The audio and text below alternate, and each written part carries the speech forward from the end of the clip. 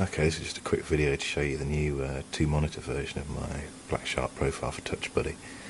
Um, you can see it's pretty similar to the old version. It's got all the same buttons, all the same functions. Uh, all the buttons can be activated just by touching them or uh, by just clicking with the mouse if you haven't got a touch screen. Um, if I unpause the sim here, I can just uh, change the page and the address there. Um, flick on the master arm, set the outer hard points. You can see the outer hard points just come up in the buttons display there. Uh, but we're going to need to see what we're shooting at, so if I just click that button, uh, and you should able to the uh, display there.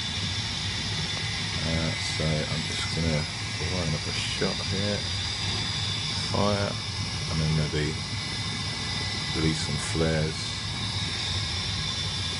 and back to Shkval, and there's the impact.